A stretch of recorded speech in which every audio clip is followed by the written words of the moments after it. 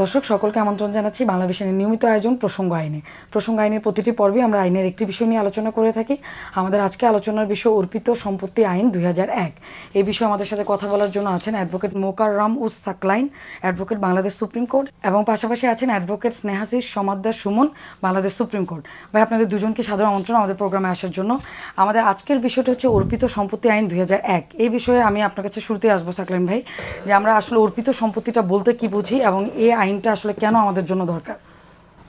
অর্পিত সম্পত্তি এটার সাথে এইভাবে সংজ্ঞার ভিত্তিতে বলার চেয়ে আমি একটু ইতিহাসের ভিত্তিতে আজকে বলতে চাই। আমরা সবাই জানি যে আমাদের উপমহাদেশে যখন ভারত পাকিস্তানের বিভক্তি হলো তখন উনিশশো পঁয়ষট্টি সালে ভারত এবং পাকিস্তানের যুদ্ধ লেগে যায়। তো এই যুদ্ধ যখন লেগে যায় তখন পাকিস্তান সরকার উনিশশো বাষট্টি সংবিধানের প্রেক্ষিতে ডিফেন্স অফ পাকিস্তান অর্ডিন্যান্স তার দেশকে প্রতিরক্ষা করার জন্য একটি আইন তৈরি করে। সেই আইনের দুইয়ের দুই ধারা অনুযায়ী তখন পাকিস্তান সরকার ডিফাইন করে যে কোনটি শত্রু দেশ, কোনটি শত্রু এলাকা এবং কোন ধরনের সম্পত্তিগুলো শত্রু সম্পত্তি।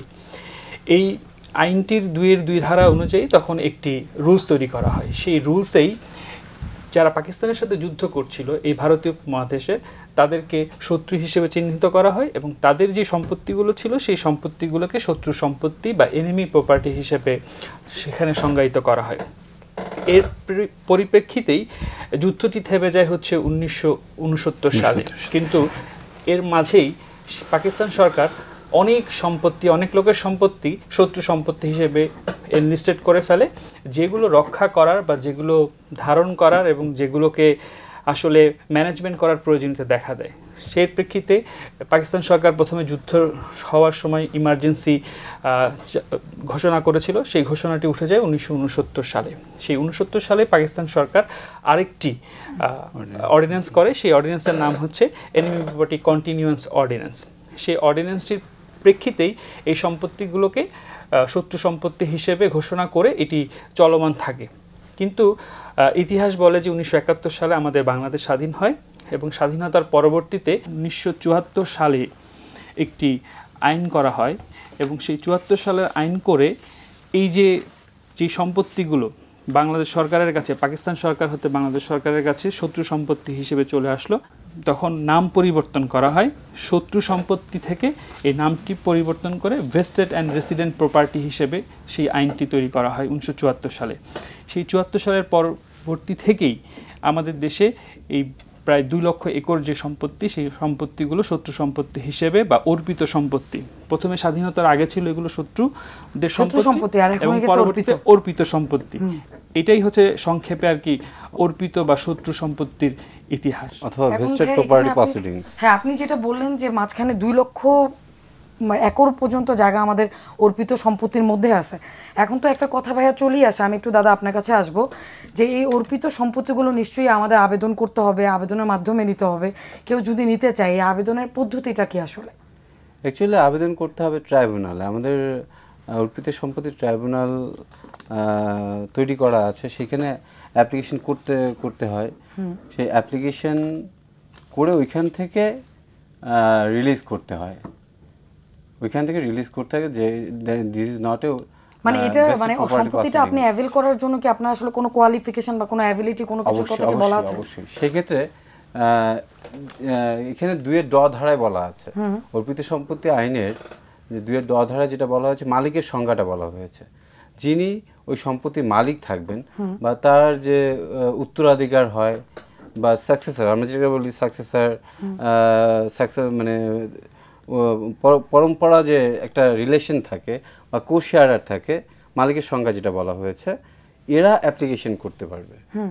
বা বাই পারচেজ যাদের নামে এই যে অর্পিত সম্পত্তি অর্পিত সম্পত্তির যে গেজেট নোটিফিকেশন হলো যাদের নামে হলো আর কি যাদের নামগুলো আসলো যাদের সম্পত্তিগুলো আসলো তাদের কাছ থেকে যদি কেউ পারচেস করে থাকে they can prefer the application আচ্ছা কিন্তু এখানে কিন্তু দাদা আরেকটা কথা আসে যদি যেহেতু এটা শত্রু সম্পত্তি মানে একটা পক্ষ সম্পত্তিটা রেখে ফেলে হয়তো বা ভিন্ন দেশে চলে গেছে, তখন তো আর তার ওয়ারিশ সূত্রে তাদের নাম, তাদের গেজেটে তো আসার কথা না।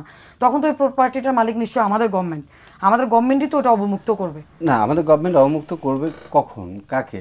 একটা নাম তো চলে আসতেছে। হ্যাঁ রেশিও তো একটা নাম থাকবে চলে আসতেছে। S A R S record of right হ্যাঁ। এই এই অনুসারে চলে আসতেছে। If some if anybody can prove the prove that they are the heirs or legal successive heirs or they have purchased from the land মানে তাদের কাছ থেকে সম্পত্তি কিনে নিয়েছে। এস এ রেকর্ড অফ রাইটের যারা ওনার কিনে নিয়েছে। আপনি কি ভাই একটু যোগ করতে চান সাথে হ্যাঁ। সেটি হচ্ছে যে আহ, আমাদের সরকার দুই হাজার এক সালে একটি আইন করে। তো এই আইনটা করার পরে সেটি হচ্ছে অর্পিত সম্পত্তি প্রত্যার্পণ আইন। এই আইনটি করার পরে এই আইনে মালিক হিসেবে একটি সংজ্ঞায়ন করা হয় এবং সেই সংজ্ঞা আমার দাদা বললেন যেটি যে দুয়ের দর ধারা সেই সংজ্ঞায়নটি করা আছে। তবে এখানে খুবই স্পেসিফিক করে দিয়েছে যে কারা এই সম্পত্তির মালিক হবে। বেসিক্যালি আমাদের আইনটার যে প্রত্যর্পণ আইনটা হয়েছিল সেই আইনের একটি তালিকা প্রকাশ করার বাধ্যবাধকতা রয়ে যায়। এবং সেই তালিকাতে যাদের নাম চলে আসছে সেই তালিকার মধ্যে যাদের নাম পাওয়া গেছে, প্রথমত তাদেরকেই মালিক হিসেবে চিহ্নিত করা হয়। কারণ তাদেরকে মালিক হিসেবে চিহ্নিত করার পরে তাদের যে উত্তরাধিকাররা বাংলাদেশে বর্তমান কিংবা তাদের কাছ থেকে বিভিন্ন ধরনের ক্রয়, বিক্রয়, দানের মাধ্যমে যাদের কাছে এই সম্পত্তি আছে, তারাই বেসিক্যালি এই অর্পিত সম্পত্তি প্রত্যার্পণ ট্রাইব্যুনালে তাদের ভ্যালিড যে কাগজপত্র থাকে সেই কাগজপত্র দিয়ে তারা এটি রিলিজ করার জন্য আহ, আবেদন করতে পারে। এখানে একটি উল্লেখযোগ্য বিষয় হচ্ছে সরকার কিন্তু কখনো এই সম্পত্তির মালিকানা অর্জন করতে পারছে না। কারণ আমাদের আইনগুলোই বলা আছে যে চুয়াত্তর সালের আইনের একটি অ্যামেন্ডমেন্ট আসছে সেখানে বলা আছে যে সরকার এই প্রপার্টিটি ম্যানেজ করবে সরকার এই প্রপার্টিটি হোল্ড করবে এবং সরকার এই প্রপার্টি ডিসপোজ অফ করবে। কিন্তু ওনার হবে না। এখন পর্যন্ত এই সম্পত্তির মালিকানা সরকার না। তবে যিনি মালিক হিসেবে আসবেন তিনি মালিকানার কাগজপত্র দাখিল করে সেখান থেকে এটি ফেরত নিতে পারবেন। আচ্ছা এখানে কিন্তু আরেকটা ব্যাপার কিন্তু সাকলাইন ভাই চলে আসে মাঝখানে। এটা তো গেল যখন কোনো প্রপার্টির মালিকানা থাকবে। মানে আমরা চেইন পাচ্ছি বা ওনাদের উত্তরাধিকারীকে খুঁজে পাচ্ছি বাট আমাদের আশেপাশে কিন্তু আমরা অনেক পরিত্যক্ত প্রপার্টি দেখি। যেটার হয়তো বা পূর্বপুরুষ যারা ছিল তারা পুরোপুরি আমাদের দেশটা ছেড়ে চলে গেছে। ওইটাকে আমরা পরিত্যক্ত প্রপার্টি যেটা বলি সেটার আসলে ডিস্ট্রিবিউশনের প্রসেসটা কি হবে? যদি ওইটা আমরা একটু বলেন। হ্যাঁ প্লিজ দাদা আপনি একটু বলেন আমাদের পরিত্যক্ত সম্পত্তি আর অর্পিত সম্পত্তি তো আলাদা জিনিস, আলাদা হ্যাঁ। জিনিস কেমন? পরিত্যক্ত সম্পত্তির ক্ষেত্রে যদি কেউ থেকে থাকে তাহলে দাদা আমরা একটু এই পরিত্যক্ত সম্পত্তি আর আমাদের যে অর্পিত সম্পত্তি এই দুটার যে পার্থক্যটা সেই পার্থক্যটা আমরা একটা ছোট্ট বিরতির পর ফিরে আসছি। দাদা দর্শক ফিরে আসছে ছোট একটি বিরতির পর।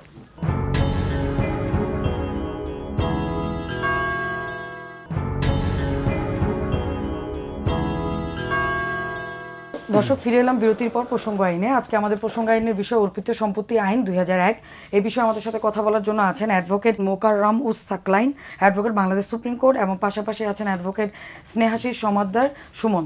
ভাই আপনাদের দুজনকে আবার আমন্ত্রণ আমাদের প্রোগ্রামে। আমি যেটা বলতে চাচ্ছিলাম ভাইয়া যে আমাদের অর্পিত সম্পত্তি এবং আমাদের যে পরিত্যক্ত সম্পত্তি এই দুইটার পার্থক্যটা যদি একটু বলতেন কারণ অনেক সময় এই দুইটা সম্পত্তির যে ডেফিনেশনটা সেই ডেফিনেশনটা কিন্তু আমাদের সাধারণ মানুষের কাছে অনেক ক্ল্যামজি হয়ে যায় যে আসলে জিনিসটা কি দুইটা সম্পত্তির মধ্যে। অর্পিত সম্পত্তি তো অর্পিত সম্পত্তিটা কি সেই জিনিসটা তো আমরা বুঝে গেছি। এখন পরিত্যক্ত সম্পত্তিটা এটা আসলেই ওই সময় সম্পত্তি ফেলে রেখে চলে গেছে। মানে যারা দেশ ত্যাগ করে হ্যাঁ, চলে দেশ ত্যাগ করে চলে গেছিল এবং ওই সম্পত্তিটার টোটালটাই এখন গভর্নমেন্ট মালিকানায় চলছে। এখন আপনি মাঝখানে একটা কোশ্চেন করলেন যে মালিকানাটা মালিকানা কীভাবে হবে? এখন মালিকানা হ্যান্ডেড ওভার হবে যদি কেউ ওই সময় চলে গিয়ে থাকে এবং ওই ওই যে অর্পিত সরি আপনার পরিত্যক্ত সম্পত্তি যদি এনলিস্টেড হয়ে যায় গভর্নমেন্ট লিস্টে তাহলে তো ওটা গভর্নমেন্ট প্রপার্টি হয়ে গেল। না গভর্নমেন্ট প্রপার্টি হয়ে গেল তারপর রিলিজ করা যাবে। আচ্ছা। যদি কেউ এসে মালিকানা প্রমাণ করতে পারে যদি কেউ এসে ব্যাক করে ব্যাক করে এসে অন দ্যাট টাইম কোন সিচুয়েশনে তারা দেশ ত্যাগ করেছিল কেন ত্যাগ করেছিল এইসব মানে proper situationটা কি? আসলে পুরো হ্যাঁ, জিনিসটা যদি বোঝানো যায়। পুরানো বোঝানো যায় এবং ওই সম্পত্তির মালিক তারা এক সময় ছিল এটা প্রুফ করতে হবে। হ্যাঁ এটা প্রুফ করতে হবে। মানে পেপার টেপার সবকিছু দেখে প্রুফ করতে হবে। আর সিচুয়েশনটাও আসলে আমাদের গভর্নমেন্টকে বোঝাতে হবে। একটা জিনিস আছে সেটা হচ্ছে যে অর্পিত সম্পত্তির প্রত্যার্পণের জন্য কিন্তু ট্রাইব্যুনাল আছে। আর অ্যাবান্ডন প্রপার্টি রিলিজের জন্য কিন্তু কোর্স অফ ওয়ার্সে মামলা কোর্স অফ করতে হয়। ওয়ার্স মামলা করতে কোর্স অফ ওয়ার্সে মামলা করতে এটা এসএনটি অ্যাক্টের বিধান অনুসারে এই মামলাগুলো করতে হয় কোর্স অফ ওয়ার্সে ওখানে একটি সময়সীমা আছে। কিন্তু আহ, আমাদের দর্শকদের মধ্যে হয়তো এই প্রশ্নটা আসবে যে এই সময়সীমা যদি পার হয়ে যায় তাহলে সেক্ষেত্রে কি হবে? তো এই বিষয়টি আমরা যখন আইনজীবী হিসেবে আমরা কোনো আমাদের যারা পরামর্শ গ্রহণ করেন তাদেরকে আমরা যখন বলি তখন আমরা বলি যে আপনি একটি রিট পিটিশন দায়ের করতে পারবেন। কারণ হচ্ছে সম্পত্তির অধিকার আমাদের সংবিধানে বলা আছে এটি হচ্ছে মৌলিক মানবাধিকার আর্টিকেল ফর্টি টু অনুযায়ী। তো সেই ক্ষেত্রে আমরা সংবিধানের আর্টিকেল একশো দুইয়ের এক অনুচ্ছেদ এটা তো ভাই অ্যামেন্ডমেন্ট প্রপার্টির ব্যাপারে যদি সময়সীমাটা পার হয়ে যায় তখন আমাদের রিটে চলে আসতে হবে। সেক্ষেত্রে আমাদের আমাদের সুপ্রিম কোর্টের একটি ডিসিশন আছে সেই ডিসিশনে বলা আছে সম্পত্তির অধিকার থেকে কাউকে বঞ্চিত করা যাবে না। এবং সেক্ষেত্রে এখন পর্যন্ত আমরা যে বিধানটি দেখছি অর্পিত সম্পত্তির ক্ষেত্রে আমরা সময় শেষ হয়ে গেছে মামলা করার দুই হাজার তেরো সালের একত্রিশে ডিসেম্বর পর্যন্ত। কিন্তু অ্যাবেন্ডন প্রপার্টির ক্ষেত্রেও সেই একই বিধান সেটি আরও অনেক আগে শেষ হয়ে গিয়েছে কিন্তু দুটির ক্ষেত্রেই আমরা যেটা করি যদি এরকম কোনো ওয়ারিসদার পাওয়া যায় সেক্ষেত্রে আমরা রিটটা আমরা করি। মানে উপদেশ দিই যে আপনি রিট পিটিশন ফাইল করতে পারেন কারণ সম্পত্তি রক্ষার অধিকার আপনার মৌলিক মানবাধিকার। আচ্ছা এখানে কিন্তু ভাই আরেকটা ব্যাপার আছে যে অর্পিত সম্পত্তি প্রত্যাপনের যে ব্যাপারটা সেখানে কিন্তু আমরা দেখতেছি যে দাদা একটা ট্রাইব্যুনাল আছে আমাদের। তাহলে আমরা কখন এই ট্রাইব্যুনালে যাব এবং ট্রাইব্যুনালের পদ্ধতি কার্যপদ্ধতিটা কি হবে? অ্যাকচুয়ালি ট্রাইব্যুনাল কার্যপদ ট্রাইব্যুনালে কখন যাব? সেটা স্পেসিফিক করে এইমাত্র আমার দাদা বললেন যে দুহাজার তেরো সালে কিন্তু টাইমটা ওভার হয়ে গেছে। আচ্ছা। এখন আর অর্পিত সম্পত্তি ট্রাইব্যুনালে গিয়ে কিন্তু মামলা করা যাবে না। At this at this period মানে এখন দুই হাজার উনিশে আমরা সেটা করতে পারছি হ্যাঁ না এখন সেটা করা যাবে না। কারণ দ্যাট হ্যাজ বিন পাস্ট দু সালে এটা তাহলে এই মানুষ ইয়ে ফোরামের মানুষগুলো আসলে সেটাই দাদা কিন্তু একটু আগে বলে গেল যে এদের অল্টারনেটিভ রেমেডিটা কি? অল্টারনেটিভ রেমেডিটা হচ্ছে রিট ফোরামে চলে আসা। মানে এখন অর্পিত সম্পত্তি রিলেটেড যতগুলো মামলা বা যতগুলো ডিসপিউট আছে, সবগুলো সরাসরি রিটে চলে আসবে। এখন যদি এখন যদি- মানে এখন প্রেজেন্ট টাইমে আমরা দেখতেছি যে এগুলো সব চলে আসবে। একটি বিষয় হচ্ছে আদালত আমাদেরকে প্রায় সময় প্রশ্ন করে থাকে যে আপনি আগে কেন যেতে পারলেন না? তো খুব স্বাভাবিকভাবে আইনের বিধান অনুযায়ী আগে যেতে পারিনি তার একটি কৈফত আমাদেরকে দাঁড় করাতে হয় যে আমি এই কারণে একটি কেন সময়টা আমাকে হ্যাঁ, করা হবে? একটা একটা কৈফত আমরা সেই আহ, আমাদের দরখাস্তের মধ্যে আমরা দেই যে এই কারণে আমি সম্পত্তিটি আসলে রিলিজ করার জন্য যেতে পারিনি। কিছু কিছু জায়গায় আমাদের এই ধরনের এখন একটা নতুন প্র্যাকটিস শুরু হয়েছে সেটা হচ্ছে অনেকে চাচ্ছেন যে যে মামলাগুলো চলমান আছে সেই মামলাগুলোতে তারা পক্ষভুক্তির দরখাস্ত দিচ্ছেন। তো সেক্ষেত্রেও আসলে বিষয়টি হচ্ছে আইনে পক্ষভুক্তির কোনো বিধান নাই। কিন্তু আমরা দেখে থাকি যে ধারা পঁচিশ আমাদের এই আইনের মধ্যে আছে। বিশেষ একটি বিশেষ একটি বিধান। তো সেক্ষেত্রে আদালত যদি মনে করেন কারণ এই বিষয়গুলো না এখন যেহেতু আমাদের সুপ্রিম কোর্টে এই বিষয়গুলো এস আসছে কারণ সমস্ত ট্রাইব্যুনালের সব মামলাগুলো এখন পর্যন্ত শেষও হয়নি। কিছু কিছু শেষ হয়েছে, কিছু কিছু আপিল হচ্ছে। তো বিষয়গুলো এখনও পরীক্ষা নিরীক্ষার মধ্যে আছে। একদম অ্যাবসুলেটলি কোনো বিষয়গুলো এখানে এখন পর্যন্ত এই অর্পিত সম্পত্তির ক্ষেত্রে আমরা দেখতে পাচ্ছি না। তবে বিভিন্নভাবে বিভিন্ন আইনজীবী বিভিন্ন পরামর্শে এই আইনের বিধান অনুযায়ী এটি চেষ্টা করে যাচ্ছেন। আচ্ছা এখানে ভাই আরেকটা কোশ্চেন কিন্তু আসে যে কিছু মামলা কিন্তু চলমান। না মামলাগুলো এখনও দাদা শেষ হয়নি আমাদের। চলমান মামলাগুলো এবং এই চলমান মামলাগুলোর ব্যাপারে আসলে মানে আমাদের গভর্নমেন্টের বা আমাদের রাষ্ট্রীয়ভাবে আমাদের আইন মন্ত্রণালয়ের আসলে ডিসিশনটা কি? এবং এখানে যদি এমন হয় যে একটা রায় আমার বিপক্ষে গেল অর্পিত সম্পত্তি ট্রাইব্যুনাল প্রত্যাপনের যে ট্রাইব্যুনাল সেই ট্রাইব্যুনালের যে কোনো রায় আমার বিপক্ষে যেতে পারে তখন আমরা আসলে কোথায় আসব? এই রায়ের বিপক্ষে আপিল করার জন্য আমরা কোথায় আসব? অর্পিত সম্পত্তি ট্রাইব্যুনালের রায় যেটা একটা কিন্তু যিনি যে অর্পিত সম্পত্তি ট্রাইব্যুনাল যে গেজেট নোটিফাইড হয়েছে সে কিন্তু দুইটা শিডিউল করা হয়েছে। ক অ্যান্ড খ। শিডিউল হ্যাঁ। ঠিক আছে? খ schedule has already been released from the government government এটা রিলিজ করে দিয়েছে যে সম্বন্ধে আর অর্পিত সম্পত্তি প্রত্যর্পণ আইনে কোনো মামলা চলবে না। এটা যে যে যে যে অ্যাপ্লিকেশন করেছে তাদের ওনারশিপটা দিয়ে দেওয়া হোক। ঠিক আছে? সেকেন্ড ওয়ানটা হচ্ছে ক শিডিউল নিয়ে। ক শিডিউল হ্যাঁ। ক শিডিউলে যে মামলাগুলো ট্রাইব্যুনালে চলছে এইটার যদি একটা রায় হয়ে যায় যে অ্যাগ্রিড পারসন গভর্নমেন্ট হতে পারে বা সেই ক্ষেত্রে কোনো পার্সন হতে পারে যিনি অ্যাগ্রিভড হবেন উনি অ্যাপিলেট ট্রাইব্যুনাল আছেন অর্পিত সম্পত্তি অ্যাপিলেট ট্রাইব্যুনাল ওইখানে উনি অ্যাপিল করতে পারেন। মানে ওনাদের যে কোনো রায়ের বিরুদ্ধে সে এসে হ্যাঁ অ্যাপিল ট্রাইব্যুনাল করতে পারেন। এটা আপনার পঁয়তাল্লিশ দিনের মধ্যে করতে হবে। আচ্ছা এইটার সাথে কিন্তু দাদা আমাদের কিছু দেওয়ানি ব্যাপারও আমাদের এটার সাথে ইনভলভ আমরা এই দেওয়ানি ব্যাপারটাতে আসব ছোট্ট একটা বিরতির পর আমরা ফিরে আসছি ছোট্ট বিরতির পর। দর্শক ফিরে আসছি বিরতির পর।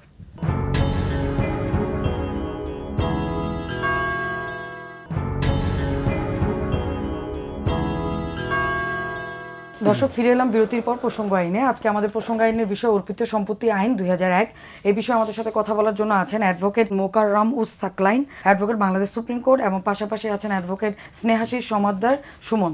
দাদা, আপনার কাছে আমরা যেটাতে ছিলাম, সাকলাইন ভাই, যে আমাদের এখানে আমরা একটা জিনিস দেখি যে, অর্পিত সম্পত্তি প্রত্যাবায়ন অনুসারে আমরা দেওয়ানি মামলায় যে ইয়াটা পাবো অ্যাভেটের যে সুযোগটা পাবো, যেটাকে আমরা সেকশন ধারা তেরো বলি, এই জিনিসটা বলতে আসলে কি বোঝায়? আচ্ছা তেরো ধারা হচ্ছে যে এই আইনটাকে যেন সুষ্ঠুভাবে চলতে দেওয়া হয় বা এই বিধানগুলো নিয়ে যেন দ্বিতীয় কোনো কোশ্চেন অ্যারাইজ না করে। সেই কারণে এই আইনটি যখন করা হলো তখন এই আইনে তেরো ধারায় বলেছে এই আইনে বিদ্যমান যদি কোনো মামলা বা মানে অর্পিত সম্পত্তি নিয়ে কোনো মামলা যে কোনো কোর্টে চলমান থাকবে সেই চলমান মামলাগুলো অটোমেটিক্যালি অ্যাবেট হয়ে যাবে।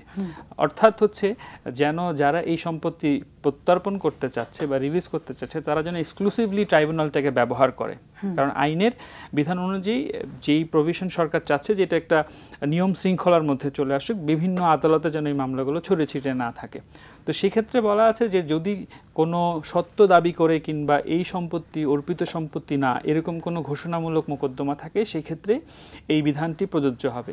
কিন্তু আমাদের আহ, এই মধ্যে আমাদের মহামান্য সুপ্রিম কোর্টের আপিল বিভাগে এই সংক্রান্ত একটি সিভিল আপিল চলমান আছে। সেখানে অ্যামিকাস কিউরি নিয়োগ করা আছে। সেই অ্যামিকাস কিউরিদের সাহায্য চেয়েছে আমাদের অ্যাপিলের ডিভিশন এবং সেখানে আসলে ডিসিশন হবে যে কোন সম্পত্তিগুলো। কারণ দেখা যাচ্ছে যে শুধুমাত্র সরকারের বিরুদ্ধেই মামলা সত্য দাবি করে মামলা না। দেখা যাচ্ছে যে ব্যক্তির বিরুদ্ধেও সত্য দাবি করে মামলা চলমান ছিল। এবং আরও একটি বিষয় এখানে উল্লেখযোগ্য সেটি হচ্ছে যে একজন ব্যক্তি প্রায় trial court appeal court high court division করে মহামান্য আপিল বিভাগ পর্যন্ত চলে এসছে। হয়তো কোনো কারণে একটি রিভিউ বর্তমান আছে। যে এই যে বিশাল সময়টুকু আছে সেই সময়টুকুতে একটি রায় পাওয়া গেছে। তাহলে এই রায়ের এই এই রায়টা কি ফিউচার এক্সারসাইজ হয়ে যাচ্ছে কিনা? বা এটি এটি এটি আসলে কি? তো তখন এই বিষয়টুকুকে ভালোভাবে পর্যবেক্ষণ করার জন্য আমাদের আপিলের ডিভিশনের একটি সিভিল আপিল মামলা এখনও চলমান আছে। সেই বিষয়টি এখন আমরা পুরোপুরিভাবে আসলে বিষয়টি আমরা জানাতে পারছি না। আলোচনা করতে পারছি না কজ যেহেতু এটা তবে বিচারাধীন একটি বিষয়। তবে যে বিষয়টি খুবই পরিষ্কার আইনে যে ব্যাখ্যাটি দেওয়া আছে সেটা হচ্ছে সরকারের বিরুদ্ধে যদি কোনো সত্যের মামলা কিংবা অর্পিত সম্পত্তি ঘোষণামূলক যদি কোনো মামলা বর্তমান থাকে সেই মামলা অটোমেটিক্যালি অ্যাবেট করা যাবে এবং সেই ক্ষেত্রে সেইখান থেকে মামলাটি চলে যাবে। নতুন করে আর কি মামলা করতে হবে অর্পিত সম্পত্তি প্রত্যর্পণ ট্রাইব্যুনালে। মানে আগের থেকে মামলাটা ওটা অ্যাভেট হয়ে যাবে। হ্যাঁ। অটোমেটিক্যালি যদি সরকারের থাকে এখানে আমি একটু বলি আমি রিসেন্টলি আমি কয়েকটা মামলা ফেস করলাম। অ্যাবেটমেন্টের দরখাস্ত দিয়েছিল গভর্নমেন্ট একটা প্রবেট কেসে দিল। Probate case is not a civil case এটাকে যদি অ্যাবেট হতেই হয় অবশ্যই সেটা সিভিল কেস সিভিল নেচারের সিভিল ন্যাচারাল হতে হবে।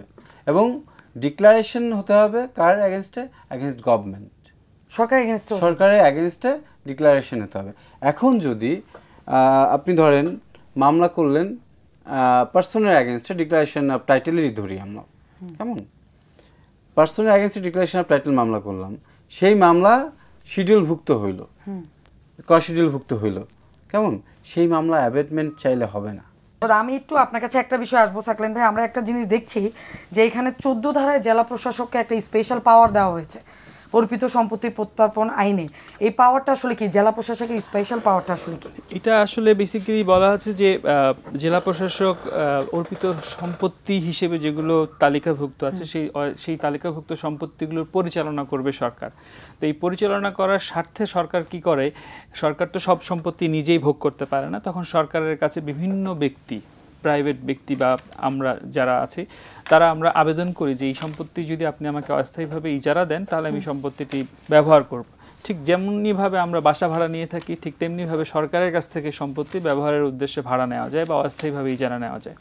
তো চোদ্দ ধারাতে বেসিক্যালি এই পাওয়ারটাই দেওয়া আছে যে সরকারের দখলে আছে সম্পত্তি কিন্তু সেই সম্পত্তি কোনো ভাবে পড়ে আছে ব্যবহৃত হচ্ছে না। তো সেইটির ব্যবহার করার জন্য দেশের সাধারণ জনগণ অস্থায়ী ইজারা চুক্তি করতে পারে জেলা। প্রশাসকই করবেন। জেলা প্রশাসকের মাধ্যমেই সেইটি হবে এবং জেলা প্রশাসককে এই দায়িত্বটি দেওয়া হচ্ছে এটি পরিচালনা করার জন্য। আচ্ছা আমি একটু ভাই আপনাকে আমি এটা ওনার সাথে একটু আমি অ্যাড করতে যাচ্ছি। সেকশন ফোরটিনটা অ্যাকচুয়ালি অর্পিত সম্পত্তি ট্রাইব্যুনালের আইনের এটা জেলা প্রশাসক যে ব্যবহারটা করছেন ওনাকে বলা হয়েছে ইজারা প্রদান করা যাবে। তবে নিয়ম নীতির ভিত্তিতে ইফ সাম পারসন যারা অ্যাপ্লিকেশন করতেছেন তাদেরকে উনি ইজারা প্রদান করতে পারতেন। কিন্তু প্রবলেমগুলো রেজ করতেছে কি? থার্ড পার্সনকে উনি ইজারা প্রদান করছেন। They are who are the muscle man in our society আমি কিন্তু টোটাল সিনিয়রিটা তুলে ধরার চেষ্টা করছি।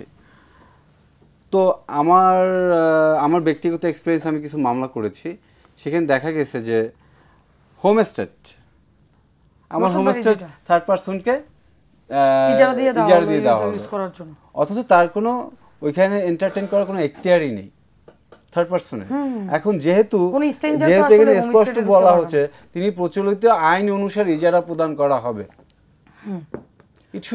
এইটা এইটা এইটা ব্যবস্থাপনা ম্যানুয়ালি সম্পত্তিগুলো কীভাবে সরকার Distribute করবে। ডিস্ট্রিবিউট করবে বা কীভাবে অস্থায়ী ইজারা দিবে তার একটি নিয়ম সেখানে আছে।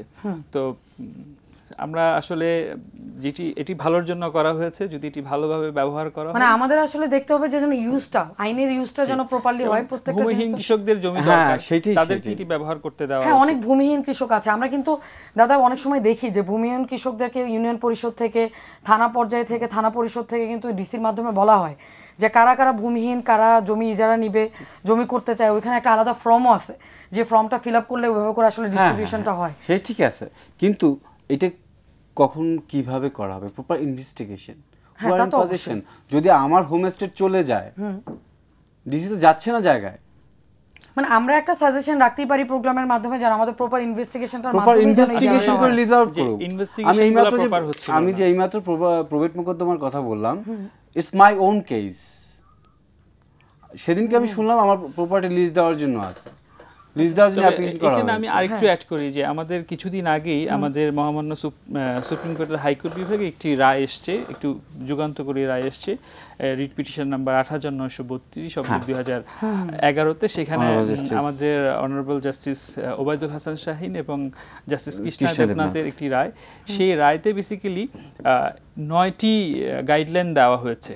এবং নয়টি গাইডলাইনের ক্ষেত্রে এই সম্পত্তি কীভাবে ব্যবস্থাপনা করা হবে সেই গাইডলাইন নাম্বার জিতে স্পষ্ট করে আদালত বলে দিয়েছেন যে মানব উন্নয়নের জন্য মানব সম্পদ উন্নয়নের জন্য এইটি ব্যবহার করতে হবে। যে যেই সম্পত্তিগুলো এখন পর্যন্ত সরকারের কাস্টডিতে আছে বা সরকারের কাছে আছে এগুলো শুধুমাত্র মানব উন্নয়নের জন্য ব্যবহার করা দরকার। কারণ দেশ এগিয়ে যাচ্ছে তো আদালত মনে করেছে যে মানব উন্নয়ন প্রপার্টিগুলো ফেলে না রেখে আসলে উন্নয়নের জন্য আসলে কাজ করতে হবে আমাদের। আমরা ভাই প্রোগ্রামের একদমই শেষ পর্যায়ে চলে আসছি আজকে এখানেই শেষ করছি। দর্শক আমরা অনুষ্ঠানে একদমই শেষ পর্যায়ে চলে আসছি আজকে আমরা এখানেই শেষ করছি দেখা হবে আগামী পর্বে। সে পর্যন্ত সকলেই ভালো থাকবেন বাংলাদেশের সাথেই থাকবেন। এবং নয়টি